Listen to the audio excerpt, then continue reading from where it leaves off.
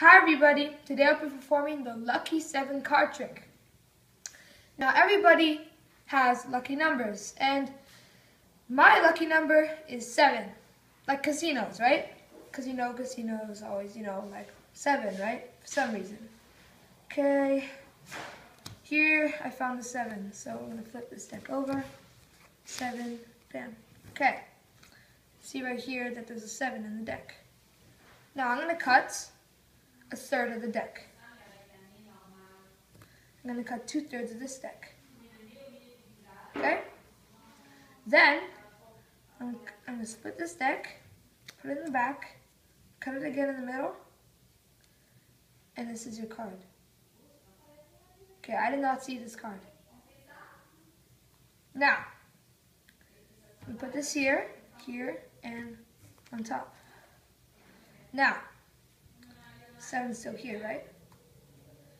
So what I'm going to do, I'm going to put the seven and the cards behind it on top of the pile. Flip the seven around and find a card. So we'll use seven. One, two, three, four, five, six, seven. One, two, three, four, five, six, seven. One, two, three, four, five, six, seven. Now, we'll do it again. One, two, three, four, five, six, and this is your card. Now, I'm going to show you how to do this trick.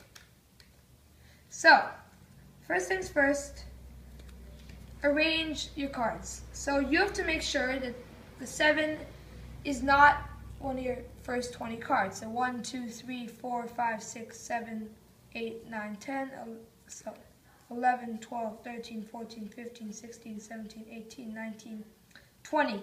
And you want to put the 7th card in the 21st place. Then, what you're going to do you're going to start the trick. So, you're going to tell the audience that, you know, your lucky number is 7, and you're going to keep on going. You're going to say, oh my god, 7 is the lucky number for casinos. And you're going to find the 7, which is exactly the 21st card. You need 20 cards here. So you're going to put it on top, here. Then, and you're going to show the audience that the, the cards are here. And you're going to cut it a third, and two thirds, and you know the seven is in this pile. And you can cut this in half, split it up, show the audience your card, put it here, here, here.